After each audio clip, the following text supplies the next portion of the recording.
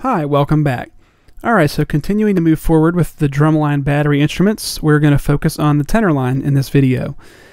Uh, so there's a few ideas that are kind of unique to the instrument, uh, switching to puffies and crossover note heads. Uh, but the first thing I want to touch on is the idea that I mentioned before with the bassline instrument, that all of the battery drum instruments actually share the same right and left hand note heads for hits, rim shots, rims, and a few other things. So I'm, what I'm actually going to do is select this first measure of the snare line part, hold down Alt, copy it on down. Now if I hit P to play back just the tenor line part,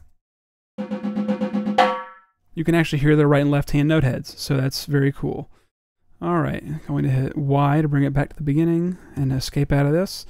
Now if I select this first note, I can actually use my arrow keys on the keyboard, uh, up and down to switch pitch,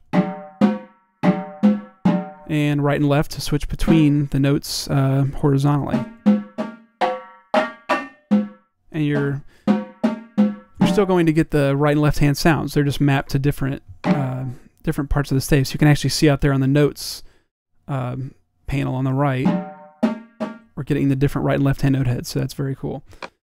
All right, let's go ahead and add a different part for here for this second bar. I'm going to hit N to go into note entry mode. Let's do a little Latin timbale triplet thing. Now I'm going to hit Command 3, or it'd be Control 3 to go into triplets.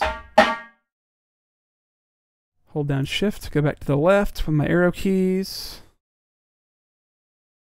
I'm going to go my fourth keypad layout, give it those marcato accents. Now I'll select here. Let's give it a nice little double stop. I just hit both notes at the same time there. That might be a nice big double stop depending on how, how loudly you decide to play it. And here we're going to enter as an eighth note rest, then left, right, left. So if you were to actually play through that as left, right, left, that would be a crossover. So if you wanted to notate that using the uh, crossover note head, you could select that note, then come over here and choose 37 for the right hand or 38 for the left hand. I'm actually going to use the keyboard shortcut, uh, which is Shift, Alt, and then hit the numbers in a row. Here it would be 37, so I'll just hit 3, then 7. All right, there you go. Right hand crossover. And I'll go ahead and add an accent onto that. Now, let's have this guy switch from, actually, let's have him start on puffies, and then he's going to switch back to mallets. Uh, he's going to freeze time right here at this bar line, then switch back over to mallets. All right, so first we're going to select our bar, go up to Create, Text, Technique. Now you'll see that cursor starting to flash. It's kind of obscured by the playback line, but I'll just type puffies. Now if I double escape out of that and play back here, all right, so everything except the shot. Uh, they didn't sample puffies with shots. Uh, I guess a whole lot, not a whole lot of people are going to write shotted puffies, um, if that's the proper way to say that. Now here, uh, we actually want to have him, as I said, uh, he's just going to shift time. I'm going to hit Command T.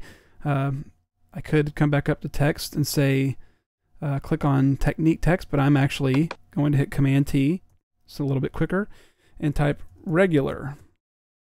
Then double escape out. Now if I play this back,